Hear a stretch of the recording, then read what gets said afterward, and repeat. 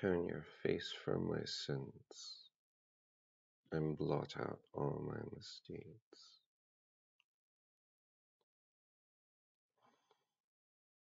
Dearly beloved, the Scriptures teach us to acknowledge our many sins and offenses, not concealing them from our Heavenly Father, but confessing them with humble and obedient hearts, that we may obtain forgiveness by His infinite goodness and mercy. We ought at all times humbly to acknowledge our sins before Almighty God, but especially when we come together in His presence, to give thanks for the great benefits we have received as His house, to declare His most worthy praise, to hear His holy word, and to ask for ourselves,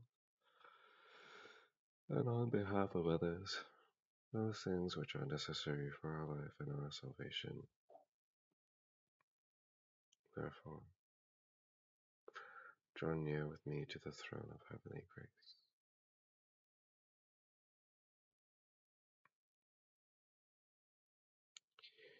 Almighty and most merciful Father, I have erred and strayed from your ways of our sheep. We have followed too much the devices and desires of our own hearts. We have offended against your holy laws. We have left undone those things which we ought to have done, and we have done those things which we ought not to have done. And apart from your grace, there is no health in us. O Lord, have mercy upon us. Spare all those who confess faults. Restore all those who are penitent, according to your promises declared to all people in Christ Jesus our Lord. And grant, O most merciful Father, for his sake, that we may now live a godly, righteous, and sober life, to the glory of your holy name. Amen. Grant to your faithful people, merciful Lord, pardon and peace, that we may be cleansed from all our sins, and serve you with a quiet mind, through Jesus Christ our Lord. Amen. O Lord, open our lips, and our mouth shall proclaim your praise. O God, make speed to save us. O Lord, make haste to help us. Glory be to the Father, and to the Son, and to the Holy Spirit. As it was at the beginning, is now, and ever shall be, world without end. Amen. Praise the Lord. The Lord's name be praised.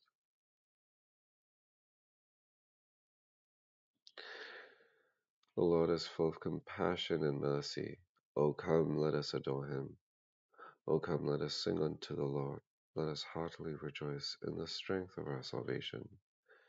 Let us come before his presence with thanksgiving, and show ourselves glad in him with psalms. For the Lord is a great God, and a great King above all gods. In his hand are all the depths of the earth, and the heights of the hills are his also. The sea is his, for he made it, and his hands prepared the dry land. O come, let us worship and fall down, and kneel before the Lord our Maker. For he is our God, and we are the people of his pasture, and the sheep of his hand. Today, if you will hear his voice, harden not your hearts, as in the provocation, and as in the day of temptation in the wilderness. When your fathers tested me and put me to the proof, though they had seen my works. Forty years long was I grieved with this generation and said, It is a people that earn their hearts, or they have not known my ways, of whom I swore in my wrath, that they should not enter into my rest. The Lord is full of compassion and mercy. O come, us adore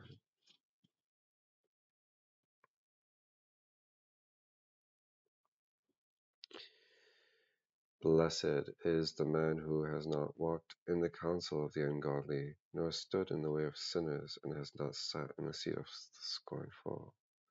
But his delight is in the law of the Lord, and on his law will he meditate day and night. And he shall be like a like a tree planted by the waterside, that will bring forth his fruit in due season. His leaf also shall not wither, and look, whatever he does, it will it shall prosper. As for the ungodly, it is not so with them, but they are like the chaff which the wind scatters away from the face of the earth.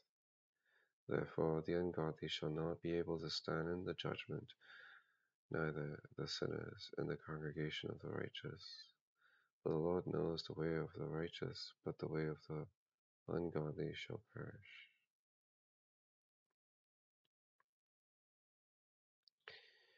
Why do the nations so furiously rage together, and why do the peoples devise a vain thing?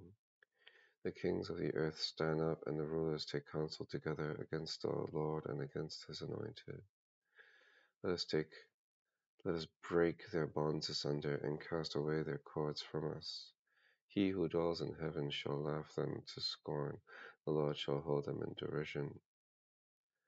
Then shall he speak to them in his wrath and terrify them in his great anger.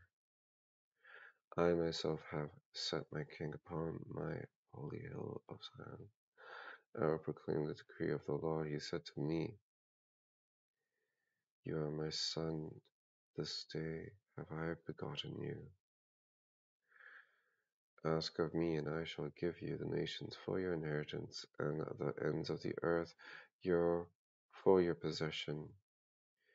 You shall bruise them with a rod of iron, and break them in pieces like a potter's vessel.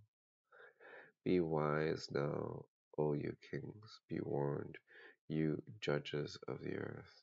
Serve the Lord in fear, and rejoice with trembling. Kiss the Son, lest he be angry, and you perish in the way, for his wrath is quickly kindled. Blessed are all those who put their trust in him.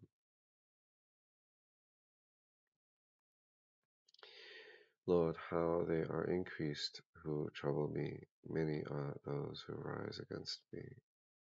Many there are who say of my soul, There is no help for him in his God. But you, O, Lord, are my defender.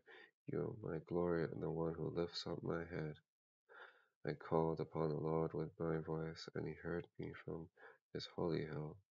I lay down and slept and rose up again, for the Lord sustained me. I will not be afraid of ten thousands of the people who have set themselves against me round about. Rise up, O Lord, and help me. O my God, for you smite all my enemies on the cheekbone. You have broken the teeth of the ungodly. Salvation belongs to the Lord. May your blessing be upon your people.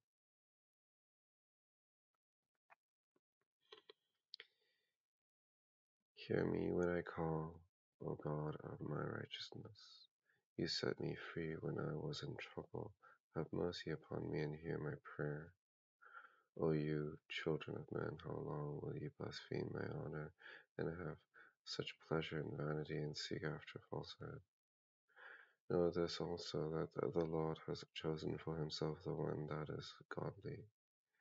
When I call upon the Lord, he will hear me. Stand in awe and sin not. Commune with your own heart upon your bed and be still. Offer the sacrifice of righteousness and put your trust in the Lord. There are many that say, Who will show us any good? Lord, lift up the light of your countenance upon us. You have put gladness in my heart more than when others' grain and wine and oil increased. I will lay me down in peace and take my rest. For you, Lord, only make me dwell in safety.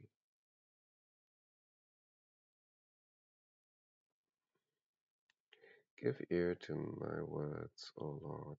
Consider my me- meditation. O hearken unto the voice of my calling, my King and my God. For unto you will I make my prayer. My voice shall you hear in the morning, O Lord. Early in the morning will I direct my prayer unto you, and will look up. For you are not a God who has pleasure in wickedness, neither shall any evil dwell with you. The boastful shall not stand in your sight, for you hate all those who work iniquity. You shall destroy those who speak lies. The Lord will abhor the bloodthirsty and the deceitful. But as for me, throughout the multitude of your mercies, I will come into your house, and in reverence will I bow myself toward your holy temple. Lead me, O Lord, in your righteousness because of my enemies. Make your way straight before my face. There is no faithfulness in their mouth. Their heart is eaten up with wickedness. Their throat is an open sepulchre. They flatter with their tongue. Declare them guilty, O Lord. Let them fall because of their own devices, because of the multitude of their transgressions. Cast them out, for they have rebelled against you. But let all those who put their trust in you rejoice. Let them ever give thanks because you defend them. Those who love your name shall be joyful in you. For you, Lord, will give your blessing unto the righteous, and with your favorable kindness you will defend him as with a shield. Glory be to the Father, and to the and to the Holy Spirit, as it was in the beginning, is now, and ever shall be, world without end. Amen. A reading from the book of Exodus, beginning with the 39th chapter the first verse. From the blue and purple and scarlet yarns, they made finely woven garments for ministering in the holy place. They made the holy garments for Aaron, as the Lord had commanded Moses. He made the ephod of gold, purple, and gold, blue, purple, and scarlet yards, and fine twinned linen. And they hammered out gold leaf, and he cut it into threads to work into the blue and purple and the scarlet yarns, and into the fine twinned linen. In skilled design, they made for the ephod attaching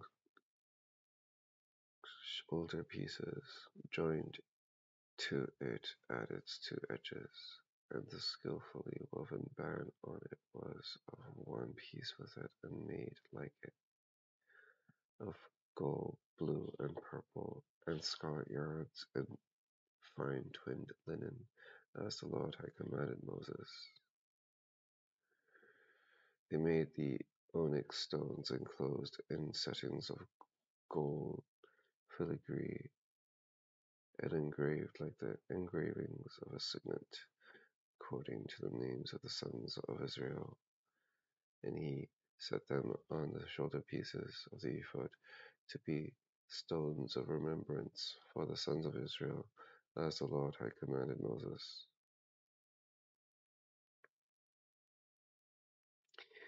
He made the breastpiece in skilled work in the style of the ephod of gold, blue, and purple and scarlet yarns, and fine twinned linen. It was square. They made the breastpiece doubled, a span, its length and a span, its breadth when doubled. And they set it in four rows of stones. A row of sardius, topaz, and carbuncle was the first row, and the second row an emerald, a sapphire, and a diamond, and the third row a jacinth, an agate, and an amethyst, and the fourth row a beryl, an onyx, and a jasper. They were enclosed in settings of gold filigree. There were twelve stones with their names according to the sons of the sun according to the names of the sons of Israel. They were like signets, each engraved with its name for the twelve tribes. And they made on the breastpiece twisted chains like cords of pure gold. And they made two settings of gold filigree in two gold rings, and put the two rings on the two edges of the breastpiece. And they put the two cords of gold in the two rings at the edges of the breastpiece. They attached the two ends of the two cords to the two settings of filigree. Thus they attached it in front of the shoulder pieces of the ephod. Then they made two rings of gold and put them at the two ends of the breastpiece, on its inside edge next to the ephod. And they made two rings of gold and attached them in front to the lower part of the two shoulder pieces of the ephod at its seam above the skillfully woven band of the ephod. And they bound the breastpiece by its rings to the rings of the ephod with a lace of blue, so that it should lie on the on the skillfully woven band of the ephod, and that the breastpiece should not come loose from the ephod, as the Lord had commanded Moses. He also made the robe of the ephod woven uh, all of blue, and the opening of the robe in it was like the opening in a garment, with a binding around the opening, so that it might, it not tear. On the hem of the robe they made pomegranates of blue and purple and scarlet yarns and fine twinned linen. They also made bells of pure gold, and put the bells between the pomegranates, and around the hem of the robe between the pomegranates, a bell and a pomegranate, a bell and a pomegranate, around the hem of the robe foam and a string, as the Lord had commanded Moses.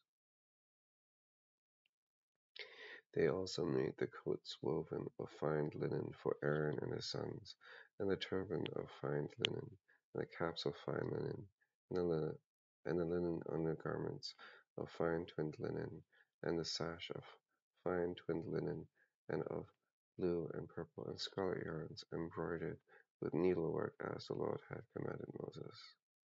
They made the plate of the holy crown of pure gold, and wrote on it an inscription like the engraving of a signet, Holy to the Lord. And they tied to it a cord of blue to fasten it on the turban above, as the Lord had commanded Moses.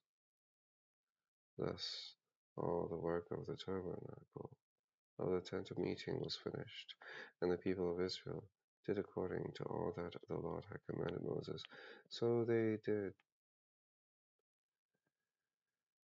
Then they brought the tabernacle to Moses, the tent and all its utensils, its hooks, its frames, its bars, its pillars, and its bases, the covering of the tanned ram skins and goat skins, and the veil of the screen, the ark of the testimony, and its poles, and the mercy seat, the table with all its utensils, and the bread of the presence, the lampstand of pure gold, and its lamps, with the lamps set and all its utensils, and the oil for the light, the golden altar, the anointing oil, and the fragrant incense, and the screen for the entrance of the tent, the bronze altar, its grating of bronze, its poles, and all its utensils, the basin and its stand, the hangings of the court, its pillars and its bases, and the screen for the gate of the court, its cords, its pegs, and all the utensils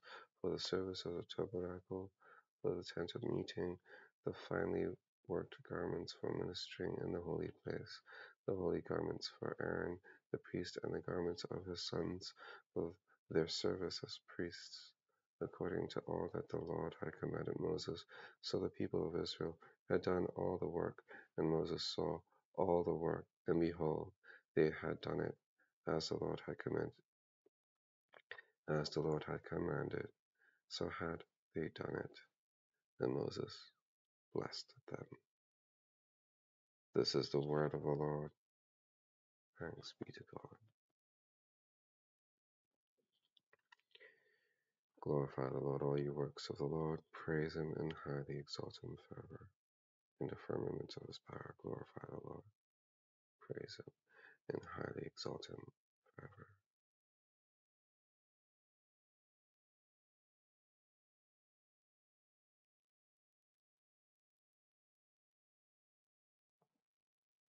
A reading from the Gospel of our Lord Jesus Christ according to St. Mark, beginning with the first chapter, the 31st verse. That evening at sundown they brought to him all who were sick or oppressed by demons. And the whole city was gathered together at the door. And he healed many who were sick with various diseases and cast out many demons. And he would not permit the demons to speak because they knew him. And rising very early in the morning, while it was still dark, he departed and went out to a desolate place, and there he prayed. And Simon and those who were with him searched for him, and they found him and said to him, Everyone is looking for you. And he said to them, Let us go on to the next towns, that I may preach there also, for that is why I came out.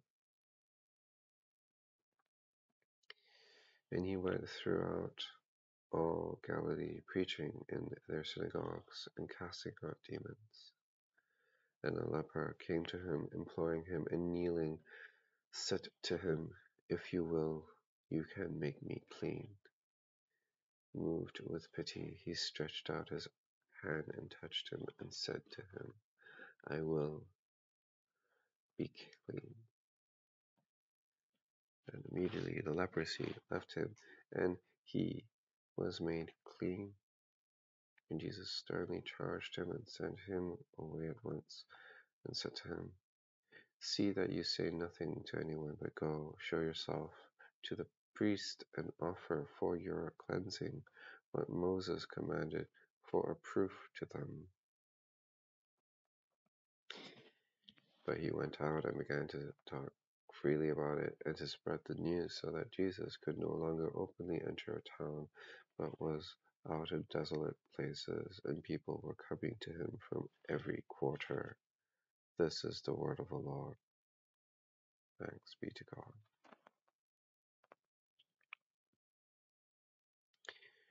O ruler of the universe, Lord God, great deeds are they that yet you have done, surpassing human understanding.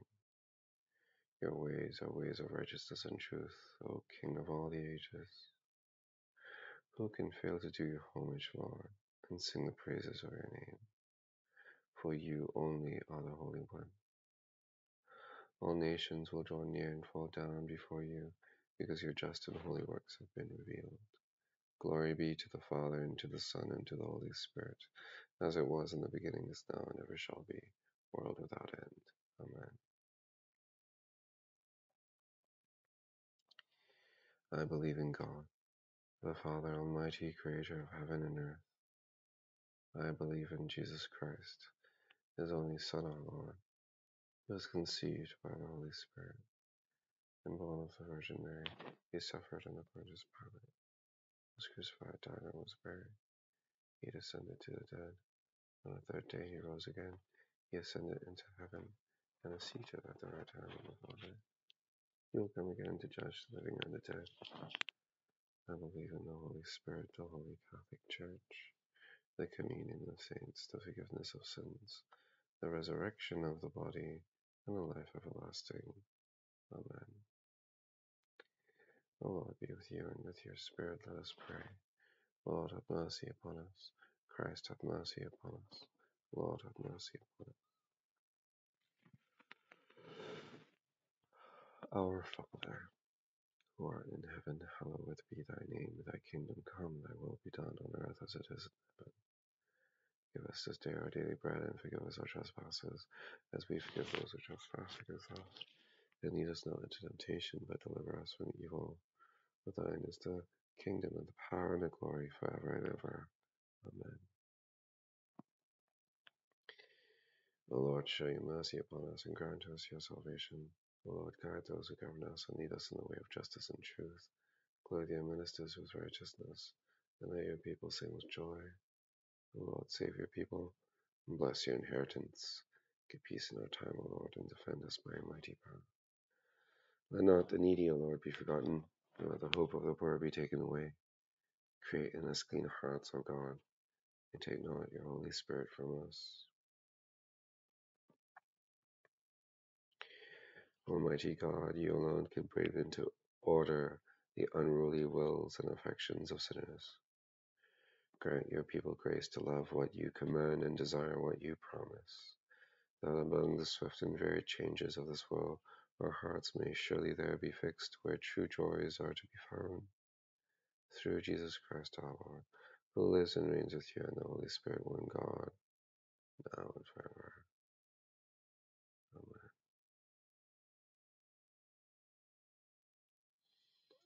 Almighty God, who after the creation of the world rested from all your works and sanctified a day of rest for all your creatures, grant that we, putting away all earthly anxieties, may be duly prepared for the service of your sanctuary, and that our rest here upon earth may be a preparation for the eternal rest promised to your people in heaven through Jesus Christ our Lord. Amen. O God, you have made of one blood all the peoples of the earth, and sent your blessed Son to preach peace to those who are far off and to those who are near. Grant that people everywhere may seek after you and find you. Grant the nations, bring the nations into your fold.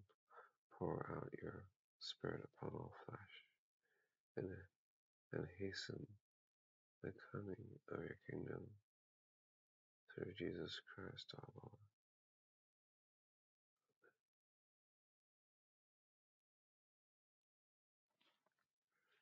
Almighty God, Father of all mercies, we, your unworthy servants, give you humble thanks for all your goodness and loving kindness to us and to all whom you have made. We bless you for our creation, preservation, and all the blessings of this life, but above all for your immeasurable love and the redemption of the world by our Lord Jesus Christ, for the means of grace and for the hope of glory.